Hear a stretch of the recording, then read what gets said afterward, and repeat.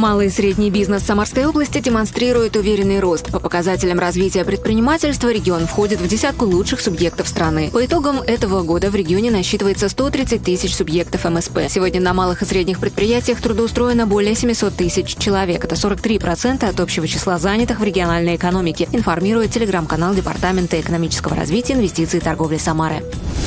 Подвели итоги недели в промышленном районе. Там прошла новогодняя акция «Елка желаний». Глава района Данил Морозов поздравил с наступающим Новым годом участника Великой Отечественной войны Василия Ященко. Новогодний праздник провели во дворе дома номер 19 по улице Александра Матросова. Завершился конкурс на новогоднюю игрушку «Замышляем Новый год». Юноармейцы получили награды, а ученики 154-й школы приняли участие в гуманитарной акции.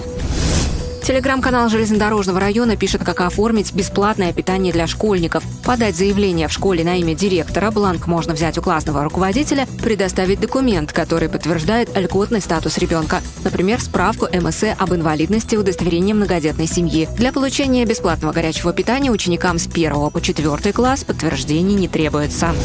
Парке 60-летия советской власти прошли традиционное соревнование спортивной школы номер 11 по лыжным гонкам на призы Деда Мороза. Такие мероприятия способствуют развитию спортивной культуры среди молодежи и создают праздничное новогоднее настроение. Мероприятие было организовано на высоком уровне и принесло радость участникам и зрителям, резюмирует телеграм-канал Кировского района.